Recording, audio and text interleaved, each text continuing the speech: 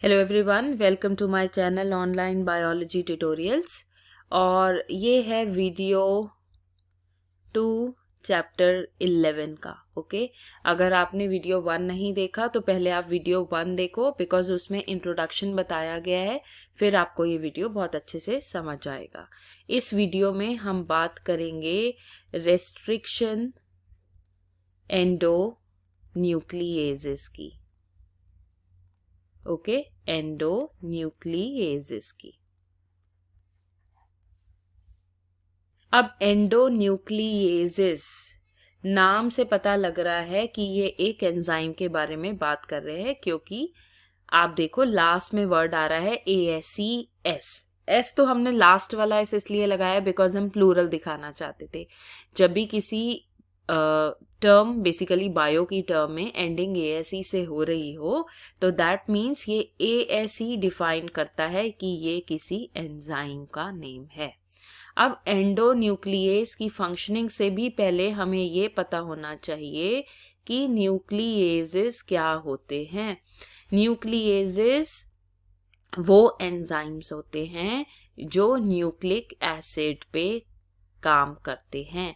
अब nucleic acid दो types का होता है डीएनए या फिर आरएनए ठीक है हमने क्योंकि चैप्टर पढ़ रहे हैं बायोटेक्नोलॉजी जिसमें हमें जेनेटिक इंजीनियरिंग करनी है और मैंने पिछले वीडियो में आपसे कहा भी था कि जेनेटिक इंजीनियरिंग में हम डीएनए और आरएनए पे काम करेंगे राइट सो so, ये जो न्यूक्लियसेस हैं वो काम करेंगे न्यूक्लिक एसिड को तोड़ने का। अब ये जो न्यूक्लिएजेस होते हैं ये दो टाइप के हो सकते हैं। एक्सो न्यूक्लिएजेस और एंडो न्यूक्लिएजेस अब एक्सो और एंडो में फ़र्क क्या है? एक्सो वो है यहाँ पे देखो आप ये एक्सो आ रहा है यहाँ पे आ रहा है एंडो। सो so, एक्सो जो है वो डीएनए को कहाँ से काटेगा? एजिस से काटेगा। ओके? और ये कहाँ से काटेगा? एंडोन्यूक्लियस ये अंदर से काटेगा। अब दोनों का हम एक बारी इलस्ट्रेशन देखेंगे ताकि हमें समझ में आ जाए। मान लो बच्चों, ये है हमारा डीएनए ये हमारा है फाइव प्राइम एंड ये हो गया हमारा थ्री प्राइम एंड ये हो गया थ्री प्राइम ये हो गया five prime because DNA anti parallel होता है, ठीक है? अब अगर मैंने डीएनए को एंड से काटा एंड से काटने का मतलब है, मैंने इसे यहाँ से काट दिया, यहाँ से काट दिया, यहाँ से काट दिया, जहाँ मैं ग्रीन मार्क लगा रही हूँ। तो ये वाला काम कौन करेगा? एक्सो न्यूक्लियस यानी हम डीएनए को एजेस से काट रहे हैं राइट अब हम एंडो न्यूक्लियस समझते हैं। ये हमारा डीएनए का एक स्ट्रैंड है फाइव टू थ्री प्राइम ये हमारा डीएनए का दूसरा स्ट्रैंड है थ्री टू फाइव प्राइम। मान लो कि हमारी जीन ऑफ़ इंटरेस्ट कहीं यहाँ पे डीएनए पे बीच में लगी हुई है राइट अब हमें इसको कट करना है तो हमें डीएनए बीच में से ही तो कट करना पड़ेगा।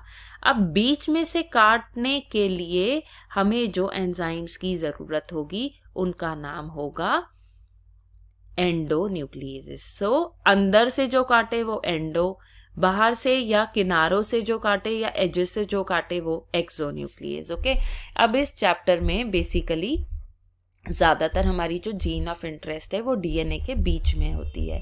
तो इसीलिए हम बायोटेक्नोलॉजी चैप्टर में बात करेंगे रेस्ट्रिक्शन एंडोन्यूक्लियस की। सबसे पहले रेस्ट्रिक्शन एंडोन्यूक्लियस जो डिस्कवर हुआ था, वो हुआ था हिंड टू ओके अब उसके बाद जो आपको एनसीईआरटी में दिया हुआ है वो है इको आर वन कि कैसे इको आर वन पे उन्होंने आपको पूरी बात समझाई हुई है कि सबसे पहले तो रेस्ट्रिक्शन एंडोन्यूक्लियस की नेमिंग कैसे करते हैं। सो so, नेमिंग करने के लिए आपको एक बात अच्छे से समझनी होगी कि यहाँ पर जो पहला ई e है ये डिफाइन कर रहा है जीनस को। और यहाँ पे जो जीनस है वो क्या है? Escherichia. ओके ये जीनस का नाम है। जो आपका ये सी ओ लिखा हुआ है ये सी ओ क्या बता रहा है आपको? ये आपको सी ओ बता रहा है स्पीशीज का नाम जो कि कोलाई है। सो so, हमने फ़र्स्ट लेटर किससे लिया? जीनस से। हमने सेकंड एंड थर्ड लेटर किससे लिया? स्पीशीज से। ठीक है? तभी तो ये बना। हमने यहाँ से फ़र्स्ट लेटर लिया, ये हो गया हमारा ई e. हमने यहाँ से दो लेटर लिए, ये हमारा हो गया सी ओ को। और ये हमने देख लिया यहाँ पे कि ये हमारा ई e को जो है हमने पढ़ लिया क्या है। अब ये आर क्या है? आर वाई थर्टीन उस स्ट्रेन का नाम है जिसमें से ये रेस्ट्रिक्शन एंडोन्यूक्लियस निकाला गया है। तो हमने इसका भी ले लिया फ़र्स्ट लेटर तो अब तक हमारा ये बन गया ई e को आर और अब ये वन क्या है? ये रोमन वन है ओके ये रोमन लेटर वन है. यानी ये हमें बता रहा है कि इस स्ट्रेन में से पहला एंजाइम निकाला गया इसलिए उसका नाम आ गया वन सो so, इसीलिए अब ये बन गया हमारा Eco R one how naming of restriction endonuclease is done this question is quite frequent in the examination okay so पहला लेटर जीनस के लिए दूसरे दो अल्फाबेट्स आपको लिए हैं स्पीशीज से। उसके बाद जो आर लिया है, वो स्ट्रेन का नाम है और लास्ट में जो लिया गया है, वो आपका रोमन नंबर वन है मींस वो डिफाइन कर रहा है ऑर्डर अब, कैसे रेस्ट्रिक्शन एंडोन्यूक्लियस एक्ट करते हैं?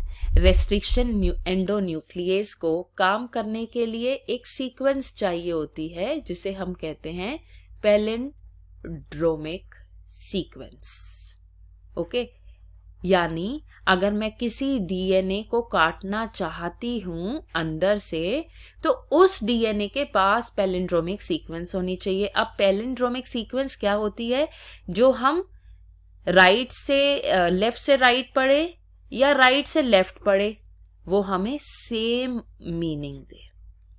ठीक है पेलिंड्रोमिक सीक्वेंसेस अगर हम डीएनए की कंटेक्स्ट में बात कर रहे हैं तो अगर हम basis left to right side जा रहे हैं तो भी सेम हो राइट right से लेफ़्ट साइड आ रहे हैं तो भी बेसिस सेम हो।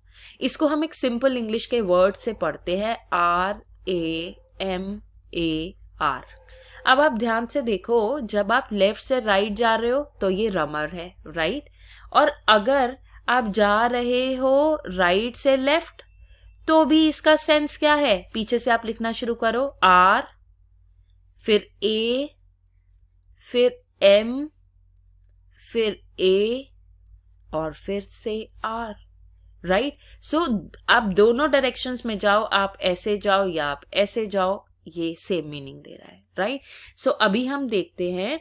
सो so, ये जो सीक्वेंस डीएनए पे होती है पेलेंड्रोमिक सीक्वेंस उसको हम कहते हैं रिकॉग्निशन सीक्वेंस एग्ज़ाम में आपसे पूछ सकते हैं what is the recognition sequence of Eco R one so आपको याद रहे कि इसकी रिकॉग्निशन सीक्वेंस है गाट टीसी हम डीएनए की बात कर रहे हैं तो ऑफ़ कोर्स हम यहाँ पे बेसिस की बात करेंगे। ये है हमारा फाइव टू थ्री प्राइम और इसी की तरह जो हमारा दूसरा स्ट्रैंड होगा, वो एंटी पैरल होगा तो इसलिए उस पर सीक्वेंस होगी ये। राइट अब आप ध्यान से देखो, ये पेलेंड्रोमिक है या नहीं? देखो, अगर आप चल रहे हो लेफ़्ट से राइट तो आ रहा है गाट टीसी अगर आप उल्टा चल रहे हो तो गाट टीसी आ रहा है। G A A T T C that means ये हमारी पैलेंड्रोमिक सीक्वेंस है। यानी जब डीएनए में ये सीक्वेंस आएगी और ये पैलेंड्रोमिक होगी, और अगर हमने वहाँ पे ई को आर वन डाल दिया तो वो इस सीक्वेंस को पहचानेगा और वो इसे तोड़ेगा जी और ए के बीच में। तो यहाँ पे जो मैंने आपको रेड एरोज लिखा, लगा के दिखाई हैं बेसिकली ये क्या होती है? Recognition site. यानी रिकॉग्निशन साइट का मतलब है, यहाँ से ये सीक्वेंस आपकी टूट जाएगी। सो रिकॉग्निशन सीक्वेंस और रिकॉग्निशन साइट में कंफ्यूज नहीं होएगा रिकॉग्निशन सीक्वेंस पेलिंड्रोमिक होती है और जहाँ से एक्चुअली एंजाइम कट करेगा, वो रिकॉग्निशन साइट है। अब क्या करेंगे? अब ये कैसे कट करता है, वो भी हमें देखना है। अब ये यहाँ से अलग होगा। ठीक है? ये यहाँ से अलग होगा। सो so, जो अलग होने वाली सीक्वेंस है ये इसके साथ जुड़ जाएगा ऐसे। और बाकी की जो ये वाली सीक्वेंस है ये अलग हो जाएगी। अब हम इसे लिख के देखते हैं। आपको ये भी बनाना आना चाहिए। तो अगर मैंने यहाँ पे इको आर वन डाल दिया तो मुझे क्या मिलेगा? फाइव प्राइम जी मैंने लिखना है क्योंकि जी के बाद अगली sequence we can not write because यहाँ से उसकी ये रिकॉग्निशन साइट है। नीचे क्या बचा? C T T A A okay? यहाँ पे हम लिखेंगे थ्री प्राइम क्योंकि हम आगे यहाँ पे ए के बाद सीक्वेंस नहीं लिखेंगे, क्योंकि वो दूसरे पार्ट के साथ चली गई और यहाँ दो टुकड़े हो गए हैं। अब देखो, यहाँ पे क्या बचा? ए ए टी टी सी और यहाँ नीचे क्या बचा? जी यहाँ पे हम लिखेंगे एंड ये हो गया हमारा थ्री प्राइम एंड ये हो गया हमारा फाइव प्राइम सो इस तरीके से टुकड़े के बाद आपको क्या मिलता है? आपको मिलते हैं स्टिकी एंड्स अब ये क्वेश्चन आता है व्हाट आर स्टिकी एंड्स आप यहाँ पे देखो लेफ़्ट और राइट right साइड में, ये चार बेसिस ऐसे हैं जो अपने रिस्पेक्टिव बेस पेयरिंग रूल के साथ नहीं कॉम्प्लीमेंट्री बेसिस के साथ अटैच नहीं है. ऐसा ही यहाँ पर भी है. बिकॉज़ ये टूट गया है बीच में से डीएनए का स्ट्रक्चर तो इन चार बेसिस को हम ओवरहैंग्स कहते हैं. अब ये ओवरहैंग्स हमारे जब प्रोड्यूस होते हैं तो ऐसे डीएनए के टुकड़ों को, ऐसे डीएनए के पीसेस को हम स्टिकी एंड कहते हैं. आपको recognition sequence Eco R one की याद होनी चाहिए बिकॉज़ एग्ज़ाम में स्टिकी एंड्स बनाने को आ सकते हैं। So sticky ends are the small stretches of DNA that contains overhand अब देखो अगर हम इन टुकड़ों को पास पास लेके आए with the help of enzyme ligase so ये दोनों टुकड़े फटाफट आपस में एक दूसरे से जुड़ जाएँगे। देखो, ये बॉन्ड बहुत ही ज़्यादा स्ट्रांग होगा क्योंकि टी ए के साथ जुड़ेगा, यहाँ पे भी टी ए के साथ जुड़ेगा, यहाँ पे ए टी के साथ जुड़ेगा, यहाँ पे ये टी के साथ जुड़ेगा और ये कोवलेंट बॉन्ड होंगे जो कि बहुत ज़्यादा स्ट्रांग होंगे राइट इसी तरीके से I tell you one more sequence and that is of BAM H1 okay? BAM H1 हम इसकी नेमिंग पे नहीं जाएँगे। ये भी एक बैक्टीरिया से लिए जाने वाला रेस्ट्रिक्शन एंडोन्यूक्लियस है। यहाँ पे बस आपको बाम पता होना चाहिए किसके लिए है। सो so, बाम जो है बी जो है वो बेसिलस के लिए है। और ए एम है एमाइलो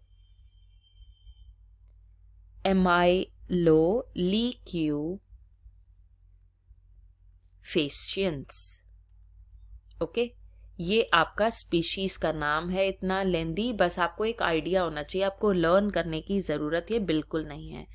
अब इसकी जो रिकॉग्निशन सीक्वेंस होती है, बाम एच वन की, वो होती है जी जी ए टी सी सी यहाँ पे आप लिखोगे फाइव प्राइम एंड यहाँ पे होना चाहिए आपका थ्री प्राइम एन अब यहाँ पे आप कॉम्प्लीमेंट्री बेस पेयरिंग के साथ लिख लोगे। जी माइंड करेगा सी के साथ टी हो जाएगा ए हो जाएगा जी हो जाएगा जी हो जाएगा। आप बाद में चेक भी कर सकते हो कि पेलेंड्रोमिक सीक्वेंस बन गई है या नहीं। हमने चला जी जी ए टी सी सी यहाँ पे देखो जी जी ए टी सी सी ठीक है? अब इसकी जो रिकग्निशन साइट होगी वो है जी जी के बीच में और इधर से इसके बीच में।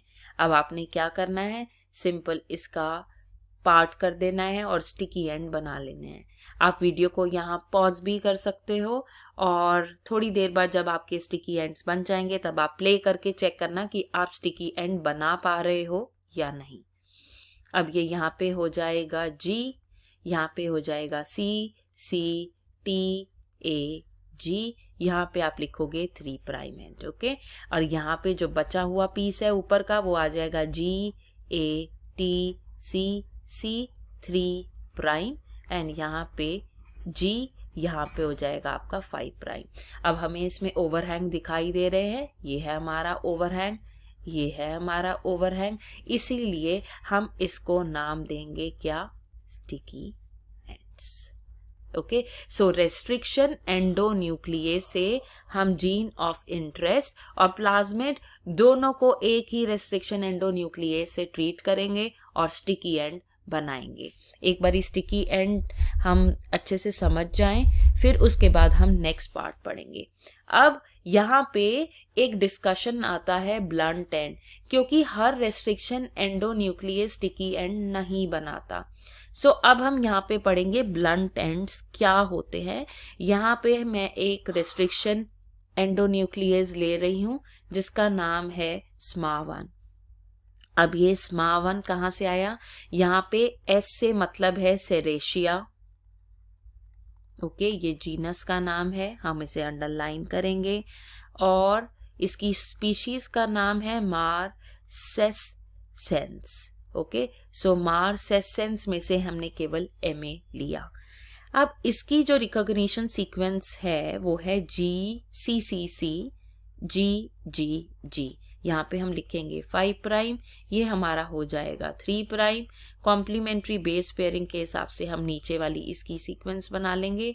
जो कि हो जाएगी जी जी जी सी सी सी यहाँ पे हो जाएगा फाइव प्राइम यहाँ पे हो जाएगा three prime so recognition sequence हमने बना ली. अब इसका जो रिकॉग्निशन साइट है, वो एसिमेट्रिकल नहीं है. आपने, आप जो है, आप वीडियो को रिवाइंड करके चेक कर सकते हो कि जो हमने अभी तक दो रेस्ट्रिक्शन एंडोन्यूक्लियस पड़े थे, उनकी रिकॉग्निशन साइट एसिमेट्रिकल थी, वो बीच में से कहीं फ़र्स्ट बेस के फ़र्स्ट बे बेस के बाद कट कर रहे थे। बट यहाँ पे सिमेट्रिकल कट है। सिमेट्रिकल क्यों? क्योंकि लेफ़्ट साइड भी थ्री बेसेस आ रहे हैं और राइट साइड भी थ्री बेसेस आ रहे हैं। अब हम इसे बना के देखते हैं, फिर आपको ज़्यादा क्लियर होगा। ये हुआ हमारा फाइव प्राइम सी सी सी यहाँ पे हमारा थ्री प्राइम जी जी जी यहाँ पे देखो बची हुई सीक्वेंस इधर हो गई। और ये हमारा आया सी सी सी ये हुआ हमारा फाइव प्राइम यहाँ पे कोई ओवरहैंग्स नहीं दिखाई दे रहे ओवरहैंग्स बिल्कुल एबसेंट है। सो so, अगर रेस्ट्रिक्शन एंडोन्यूक्लियस को ट्रीट करने के बाद अगर आपको ओवरहैंग्स नहीं दिखाई दे रहे तो इसका मतलब आपको ब्लंट एंड्स मिल रहे हैं।